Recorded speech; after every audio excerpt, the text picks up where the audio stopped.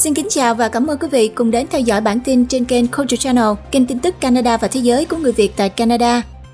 Trong bản tin Canada sáng ngày 29 tháng 3 hôm nay, ngân sách Canada đẩy mạnh đầu tư công nghệ sạch để cạnh tranh với Hoa Kỳ, hỗ trợ người dân đối phó với lạm phát, trong đó có hoàn tiền thực phẩm lên đến 467 đô la. Xu hướng COVID-19 của thủ đô Ottawa một lần nữa ổn định sau khi gia tăng trong giai đoạn ngắn tỉnh bang BC hạn chế bán thuốc trị tiểu đường Ozempic do trào lưu dùng thuốc để giảm cân. Dự luật Quebec mới giới hạn tuổi lao động cho thanh thiếu niên. Montreal chính thức cấm nhiều sản phẩm nhựa sử dụng một lần. Cùng một số tin tức đáng chú ý khác. Hoàng Anh rất vui cùng đồng hành với quý vị trong bản tin sáng nay. Rất mong nhận sự hỗ trợ của quý vị bằng cách nhấn nút like, subscribe, đăng ký kênh, chia sẻ phản hồi và chia sẻ video rất cảm ơn quý vị và các bạn. Ngay sau đây mời quý vị theo dõi phần tin chi tiết. Thưa quý vị, ngân sách Canada năm 2023 chính thức được công bố. Trong đó đẩy mạnh đầu tư công nghệ sạch để cạnh tranh với Hoa Kỳ và hỗ trợ người dân đối phó với lạm phát, trong đó có hoàn tiền thực phẩm lên đến 467 đô la. Canada đã tìm cách thu hẹp khoảng cách cạnh tranh với Hoa Kỳ bằng ngân sách nhằm thu hút đầu tư vào nền kinh tế carbon thấp, bao gồm ưu đãi thuế cho các nhà sản xuất xe điện EV và mở rộng mạng lưới điện. Tài liệu ngân sách năm 2023-2024 được gửi tới Hạ viện cũng đề cập đến hoàn lại tiền thực phẩm cho 11 triệu người dân Canada có thu nhập thấp, mở rộng dịch vụ chăm sóc răng miệng cho các hộ gia đình và đầu tư vào chăm sóc sức khỏe được công bố vào đầu năm nay. Tăng trưởng và suy thoái nhẹ được dự báo trong năm nay và lạm phát vẫn vượt quá 5% sau 8 lần tăng lãi suất trong năm qua. Nợ liên bang tính theo tỷ lệ phần trăm của tổng sản phẩm quốc nội GDP sẽ tăng lên 43,5% vào năm sau, sau đó giảm dần xuống dưới 40% vào năm 2027 đến 2028. Thâm hụt sẽ không còn được xóa bỏ trong vòng 5 năm tới, như đã được dự đoán vào mùa thu, nhưng sẽ đạt 0,4% GDP vào năm 2028. Một trong những khoản đầu tư mới lớn nhất là tín dụng thuế tax credit, bao gồm 15% chi phí thiết bị được sử dụng để sản xuất và truyền tải điện sạch. Chính phủ Canada ước tính họ phải tăng gấp đôi công suất lưới điện của đất nước vào năm 2050 và biện pháp này được cho là tiêu tốn 25,7 tỷ đô la Canada bắt đầu từ năm sau cho đến năm 2035. Ngoài ra thì còn có khoản tín dụng thuế tax credit đầu tư cho 30% chi phí máy móc và thiết bị được sử dụng để sản xuất công nghệ sạch, bao gồm khai thác và xử lý các khoáng chất quan trọng chính và bất kỳ máy móc nào cần thiết để sản xuất xe điện. Về mặt thuế thì Ottawa đang tăng mức thuế tối thiểu đối với những người Canada giàu có lên mức 20,5% từ mức 15% trước đó. Cụ thể thì ngân sách hoàn lại tiền nhằm vào khả năng chi trả hàng tạp hóa. Một biện pháp được đánh giá cao trong ngân sách năm 2023 là hoàn lại tiền một lần nhằm giúp người Canada đối phó với lạm phát lương thực tràn lan.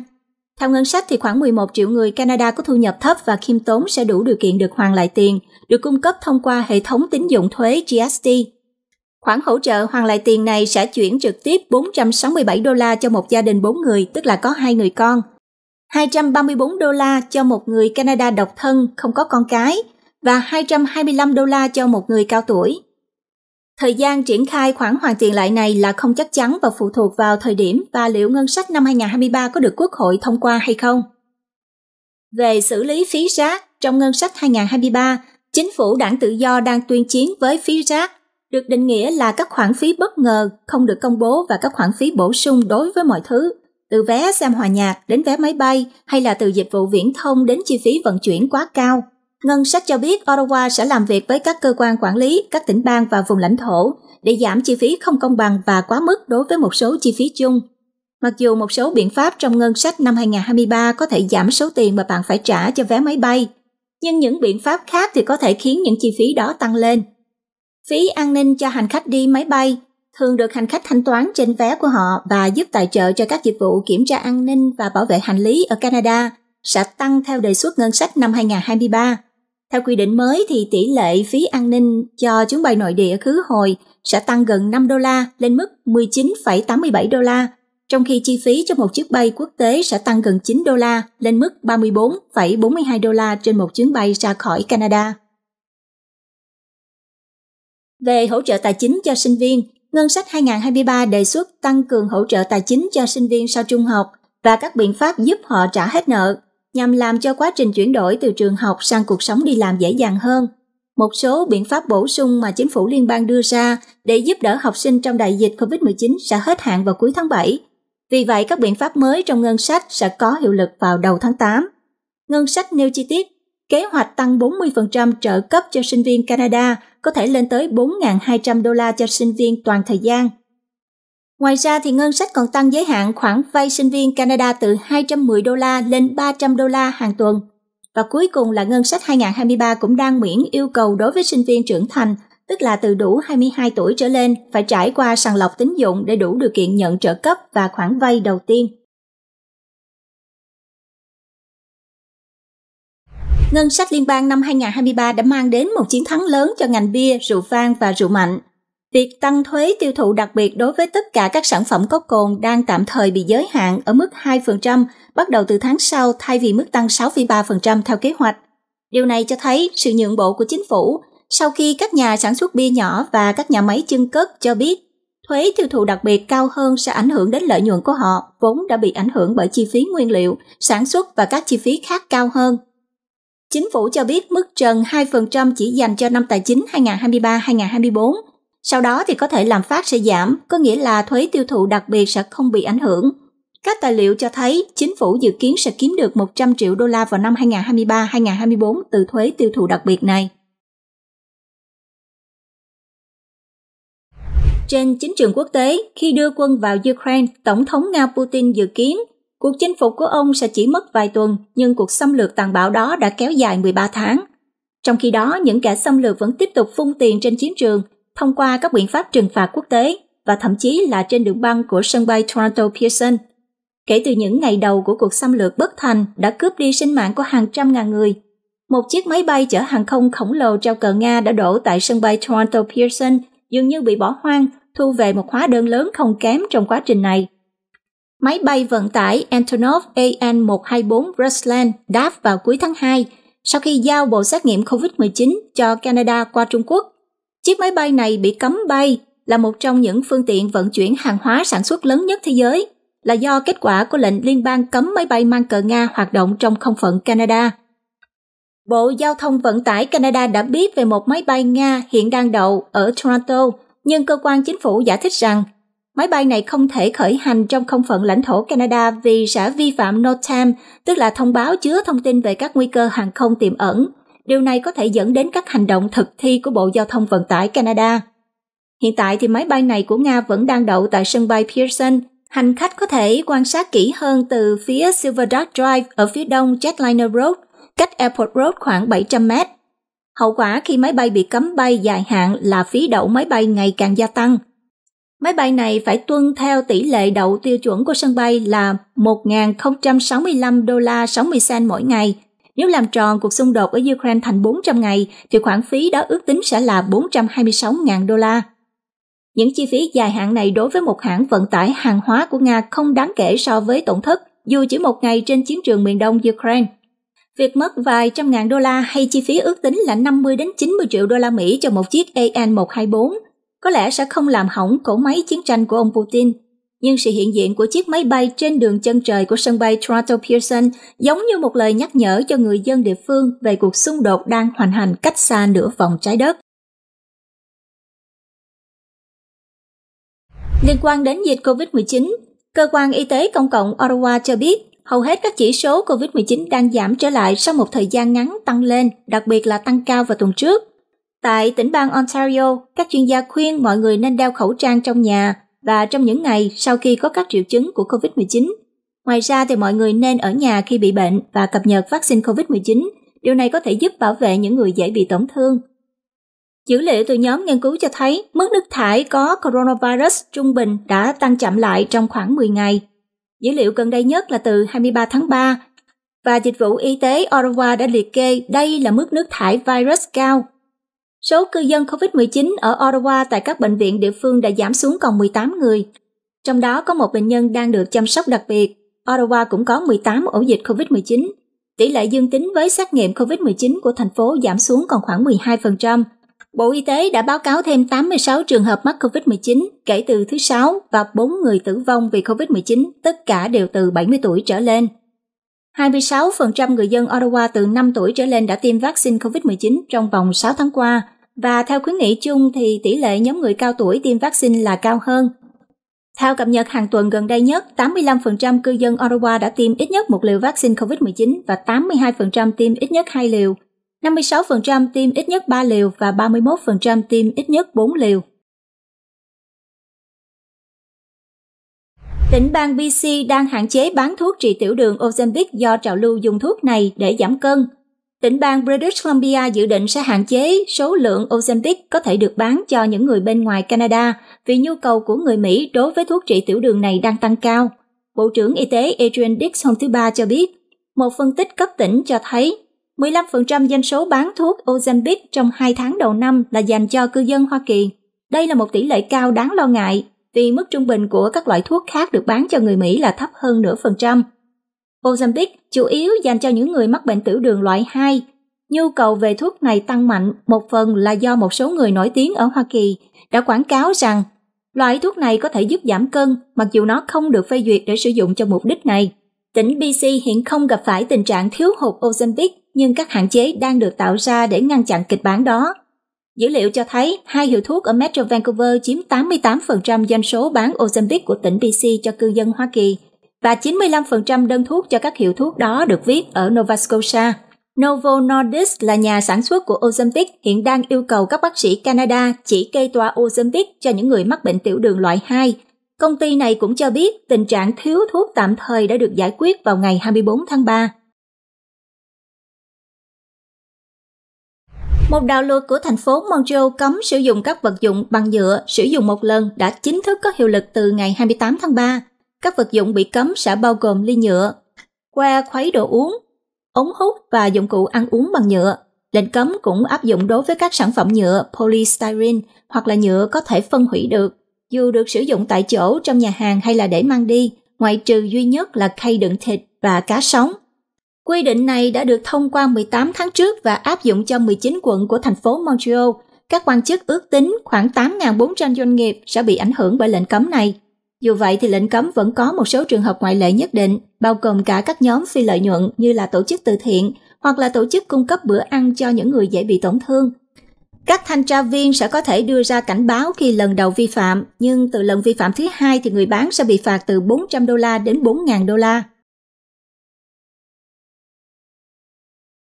Một báo cáo của Hiệp hội Quyền lợi của người thuê nhà ở Montreal cho biết, 79% trong số khoảng 30.000 đơn vị ở tỉnh Quebec được cho thuê vào tháng 2 trên Airbnb đã không được tỉnh bang chứng nhận.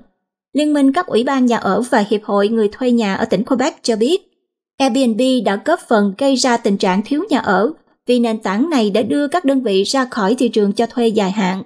Tỷ lệ trống của bất động sản ở hầu hết các vùng ở Quebec sẽ ở mức 3% hoặc là cao hơn nếu các đơn vị trên Airbnb được đưa vào thị trường cho thuê dài hạn. Hồi tuần trước, công ty cho thuê nhà ngắn hạn cho biết họ sẽ xóa tất cả danh sách nhà ở không có giấy phép ở tỉnh Quebec. Thông báo này được đưa ra 8 ngày sau trận hỏa hoạn chết người, thiêu rụi một tòa nhà ở Old Montreal, nơi có những người cho thuê bất hợp pháp. Cho đến ngày hôm nay thì thị trường nhà ở có trụ sở tại San Francisco vẫn lưu trữ danh sách Quebec mà không có số giấy phép được cấp bởi tỉnh bang. Cũng liên quan đến tỉnh bang Quebec, một dự luật mới của tỉnh Quebec đang tìm cách giới hạn độ tuổi lao động tối thiểu là 14. Bộ trưởng Lao động Quebec ông Jean Paulet đã đưa ra một dự luật vào thứ Ba nhằm giới hạn tuổi lao động cho trẻ em. Dự luật được đề xuất dựa trên khuyến nghị hàng đầu của một ủy ban gồm các hiệp hội chủ lao động hàng đầu, lãnh đạo công đoàn và Bộ Lao động. Theo dự luật 19, trẻ em 11, 12 hoặc là 13 tuổi sẽ không được phép làm việc nhưng sẽ có một số ngoại lệ đối với các công việc như là giao báo, trông trẻ và làm trợ lý giám sát. Ngoài ra thì dự luật cũng sẽ giới hạn về thời gian trẻ em có thể làm việc. Trong năm học, nhân viên là trẻ em trong độ tuổi từ 14 đến 16 sẽ bị giới hạn 17 giờ làm việc một tuần, kể cả cuối tuần. Từ thứ hai đến thứ sáu thì trẻ em có thể làm việc tối đa là 10 giờ. Nếu được thông qua thành luật, giới hạn về số giờ làm việc sẽ có hiệu lực vào ngày 1 tháng 9 nhưng sẽ không áp dụng trong các ngày lễ hoặc là kỳ nghỉ xuân.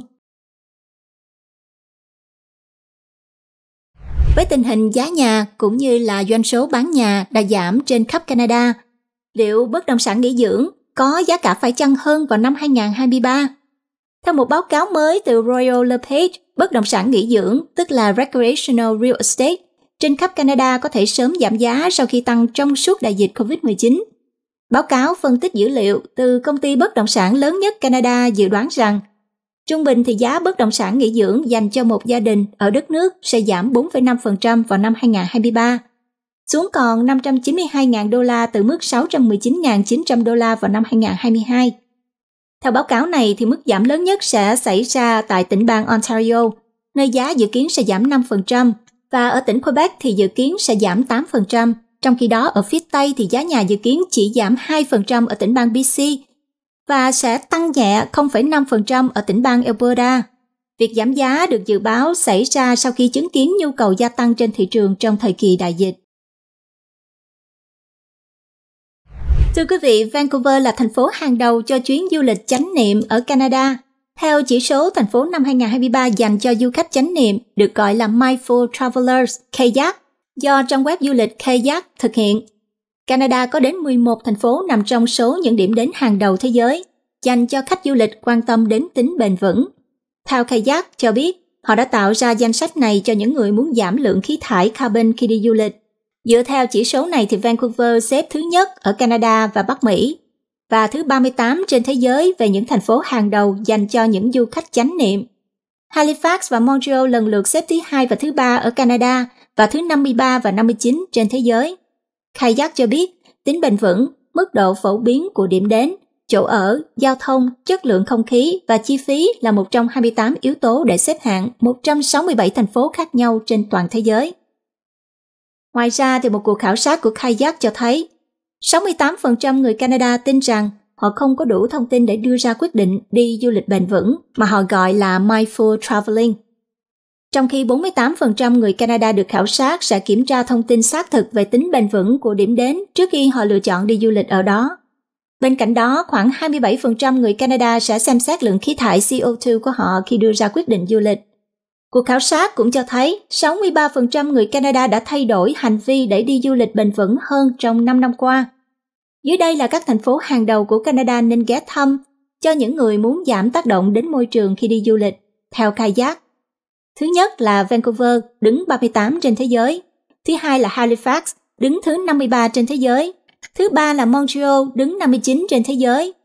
Thứ tư là Ottawa, đứng 63 trên thế giới. Thứ năm là Victoria, đứng thứ 69 thế giới. Thứ sáu là Toronto, đứng 73 trên thế giới. Thứ bảy là Winnipeg, đứng 74 trên thế giới. Thứ 8 là Calgary, đứng 89 trên thế giới. Thứ 9 là thành phố Quebec, đứng 114 trên thế giới. Thứ 10 là thành phố Kelowna, đứng 121 trên thế giới. Và thứ 11 là thành phố Edmonton, đứng 130 trên thế giới. Trên toàn cầu thì Rotterdam, Hà Lan xếp thứ nhất trong danh sách của Kayak Tiếp theo là Amsterdam của Hà Lan và Graz của Austria. Một hãng hàng không mới của Iceland vừa công bố đường bay mới trong lịch trình của họ, mang đến một lựa chọn bay khác cho du khách Canada đến thăm châu Âu vào mùa hè này. Play là một hãng hàng không giá rẻ ra mắt vào tháng 6 năm 2021 của Iceland, sẽ hoạt động tại sân bay quốc tế John C. Munro của thành phố Hamilton với các chuyến bay đến sân bay Schiphol ở Amsterdam bắt đầu từ tháng 6 này với các chuyến bay có giá có thể rẻ xuống mức 169 đô la. Chuyến bay đầu tiên của hãng từ Hamilton đến Amsterdam với một chặng dừng ngắn ở Reykjavik đã được lên kế hoạch vào ngày 22 tháng 6 này. Vé cho các chuyến bay trong tương lai hiện đã có sẵn để mua trên trang web của họ với ba hạng cung cấp với mức giá và dịch vụ khác nhau. Thưa quý vị, nhiều người thường cho rằng quốc lộ Highway 451 là đường cao tốc bận rộn nhất Bắc Mỹ, nhưng điều đó có thật sự chính xác hay là không? Để xác định mức độ bận rộn của một đường cao tốc cụ thể, nhiều cơ quan vận tải đã sử dụng thước đo được gọi là lưu lượng trung bình hàng ngày hàng năm, gọi tắt là AADT, là số lượng phương tiện di chuyển trên đường cao tốc mỗi ngày trung bình trong 365 ngày. Và đoạn Toronto của quốc lộ 451 chính là đoạn đường cao tốc bận rộn nhất ở bất cứ nơi nào tại Canada. Dữ liệu của Bộ Giao thông Vận tải Ontario MTO cho thấy, trung bình mỗi ngày có khoảng 314.200 phương tiện di chuyển trên đoạn đường 401 ở thành phố Scarborough trong năm 2019. Khoảng 378.500 phương tiện đã sử dụng đoạn đường đi qua North York, và khoảng 386.850 phương tiện di chuyển trên đoạn đường qua Etobicoke.